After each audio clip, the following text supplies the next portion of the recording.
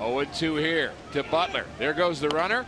Slider hit on the ground to the left side. Tough play for Freese on the run, and he gets him. David Freese, A gem at third base as he throws out Billy Butler.